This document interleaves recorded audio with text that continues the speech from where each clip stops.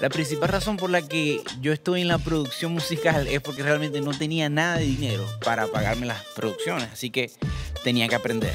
Así que era un sí o sí de que yo debía saber cómo eh, trabajar los software, Pro Tools, Ableton, etcétera, etcétera. Entonces hoy les voy a hablar de cómo aprender paso a paso usar esas herramientas para hacer un arreglo profesional. Hey, soy Ali Ochoa y vamos a hablar de cómo hacer un arreglo musical.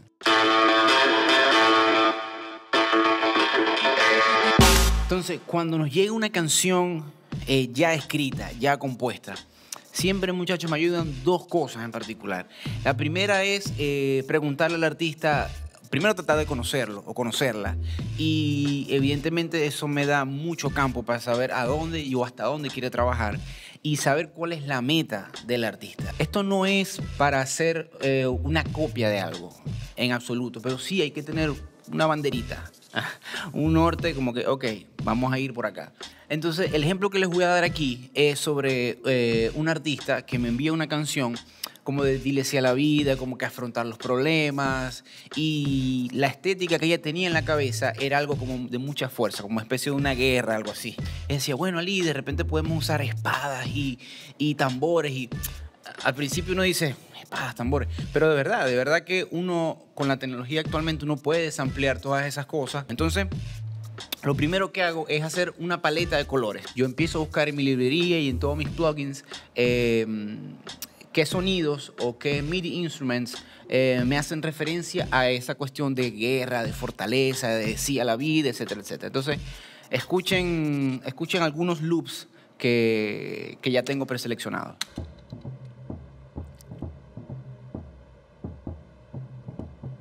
Este es uno, este es otro.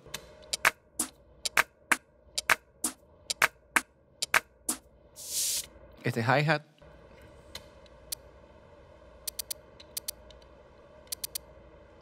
Un kick.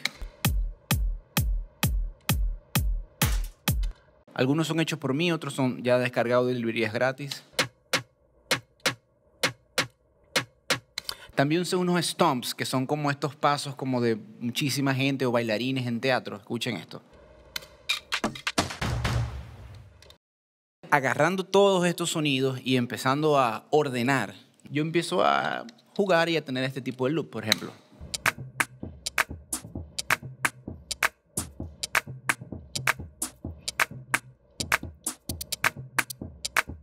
Ahí lo que tengo básicamente es una primera etapa y luego yo voy como juntando instrumentos e instrumentos. Pero ¿qué pasa si yo quiero un lado, eh, una sección B, ¿no? Podría añadir más instrumentos, como lo estoy haciendo aquí en este, en este beat, o podría usar el computador como un instrumento de arreglo, por ejemplo. Eh, se, puede usar, se puede usar de millones de maneras, pero hay dos que les voy a explicar. La primera es usar un ecualizador en el track. ¿no? Entonces, tal vez cuando esta parte, esta sección B que queremos hacer entre, podemos usar el ecualizador en vez de, usarlo como, una curita para curar algunas cosas que están eh, no tan bien grabadas, lo usamos como herramienta de, de, composición. Por ejemplo, aquí viene esta parte y lo vamos a usar, este ecualizador lo vamos a opacar un poco un track.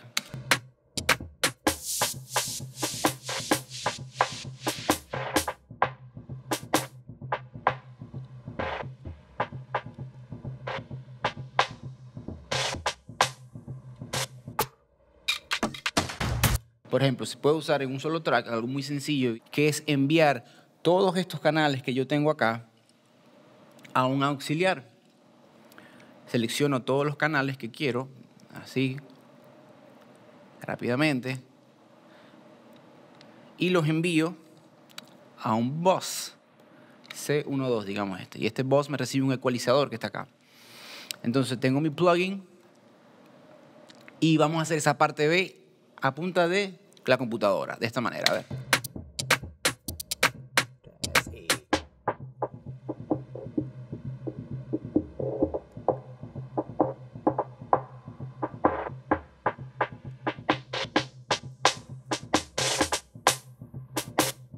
Two, three, eh. y ahí va el coro. Esto es una manera muy, muy, muy sencilla, tanto eh, para que lo puedan entender los pros como los que van empezando, pero lo pueden hacer con cualquier track, con cualquier instrumento que tengan ahí grabado. Recuerdo era muy, muy realmente con la música electrónica. A mí me gustaban muchos géneros musicales, pero la música electrónica siempre ah, no tiene corazón, no tiene alma, no suena humano. Y actualmente tengo una perspectiva de que realmente la música electrónica no busca ser humano. La música electrónica busca hacer algo más allá del humano, busca hacer algo que el humano no pueda este, crear. Y la música electrónica, eh, su belleza no está en la cantidad de acordes o progresiones que podamos hacer, sino en uno o dos acordes y con un diseño de sonido que estamos aprendiendo aquí, eh, poder hacer un mundo nuevo y distinto. ¡Hey! ¡Suscríbete! Ok muchachos, otra cosa súper importante que yo también uso mucho en las producciones son los layers o las capas. Les voy a colocar un, piano box que hice eh, en un arreglo. Escuchen.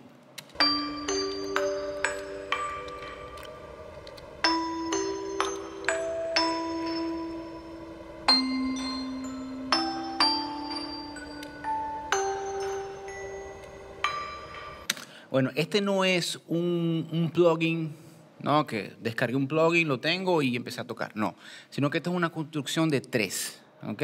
Fíjense, este es el primero. Este es de Omnisphere. ¿Ok? ¿Cuál es la intención de este, de la capa número uno, vamos a decirlo así, o layer number one? Es que me da el brillo del instrumento que quiero. No me da ese ataque del, del MIDI box, que es no, no me da ese, pero sí me da el brillo de la, de la campanita, ¿ok? Luego el segundo layer es este, es, yo lo considero como el más importante.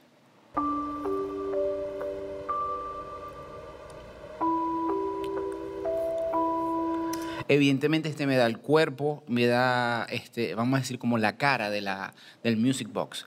Y este, el que les estaba comentando antes, el tercer layer, es el que me da este ataque, porque este tipo de, de, cajitas musicales son como muy, de cierta manera, como humanas, pues, o sea, se escucha mucho como el... Y entonces yo quería esto en esta pieza.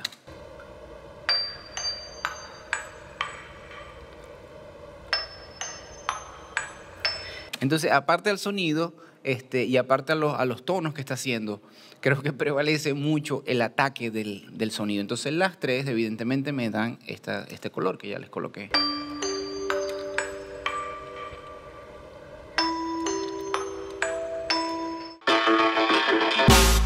Una herramienta que es vital de los años 70, creo, no me sé mucho la historia, son eh, los samples o samplear. De verdad que samplear eh, es literalmente sacar una pequeña data de algo que ya está grabado eh, y hacerlo tuyo, ¿no?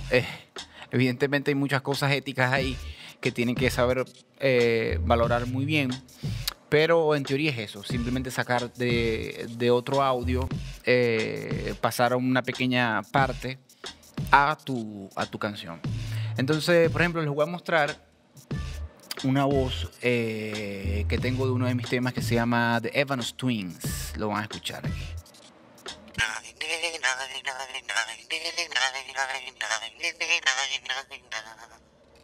Entonces yo no quiero usar esa voz que está ahí, esa na, na, na, na, porque eso es una canción. Yo quiero hacer otra canción totalmente distinta. Pero lo que sí quiero es usar la textura de esa grabación, quiero usar el cantante, quiero usar el color que tiene esa grabación. Entonces, eh, fácilmente yo arrastro ese audio que tengo para acá a un simpler o un sampler y este plugin tiene la característica de que me lo divide automáticamente. Lo voy a dejar en beat y cuando yo lo coloco directamente en este plugin, ya yo puedo controlar eso con el MIDI keyboard.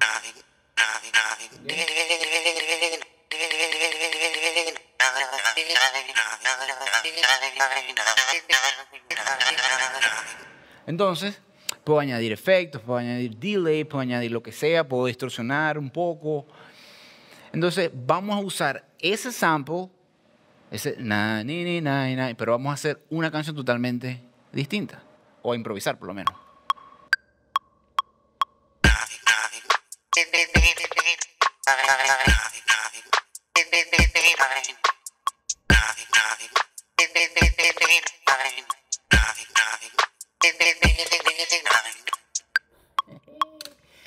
Vacílense esto eh, y déjenme aquí todos sus comentarios y déjenme eh, todo lo que ustedes han hecho con los samples, que seguramente son cosas maravillosas e increíbles.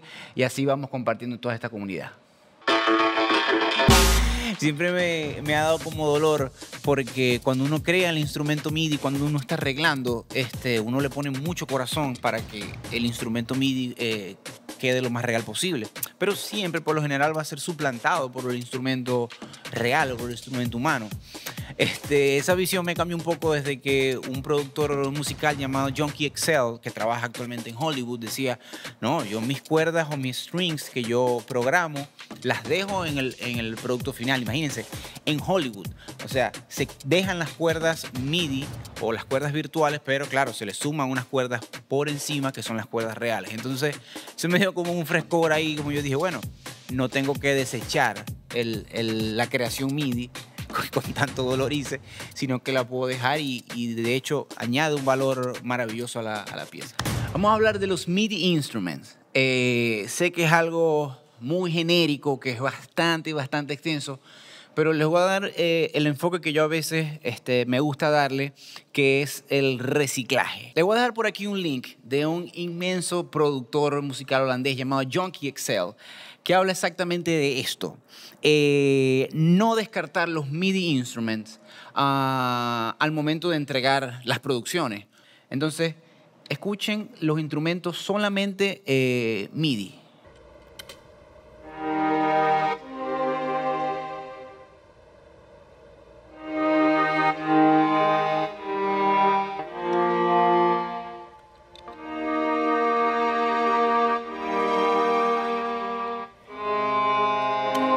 Entonces, esos son solamente los MIDI y estos son los instrumentos eh, reales grabados.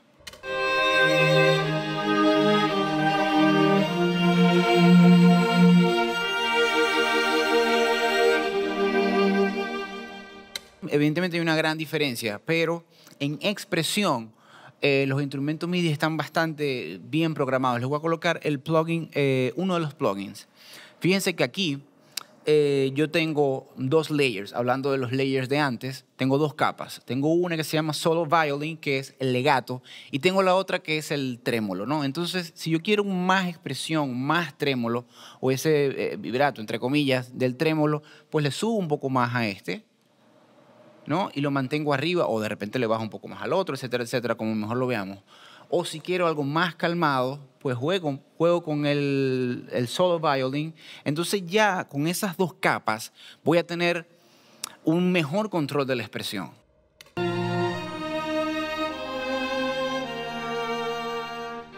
Aunque hable de plugins y effects y todo eso, yo no me considero un ingeniero de mezcla. Para eso tengo un equipo de trabajo, etcétera, etcétera, ¿no? Pero sí me considero un compositor y productor musical y nosotros tenemos eh, como herramienta tanto la guitarra como el piano, pero también está la computadora, muchachos. Entonces, si dejamos de ver a los plugins como herramientas para mezclar netamente y las empezamos a ver como herramientas para componer, pues el panorama cambia completamente. ¡Hey! ¡Suscríbete! Eh, esta es la voz, es una voz que se grabó para un trabajo eh, sin cadena de mezcla. Decídete, puede sorprenderte. Decídete. Ok, entonces vamos a colocar el, primero el ecualizador que me elimina las frecuencias bajas. Decídete, puede sorprenderte. Decídete. Luego le colocamos el compresor. Decídete, puede sorprenderte. Decídete. Luego el ecualizador que les había comentado. Decídete, puede sorprenderte. Decídete. O sea, siento que con este se escucha un poco como más in your face. Y con el, el otro compresor, el CLA2A. Decídete, puede sorprenderte. Decídete.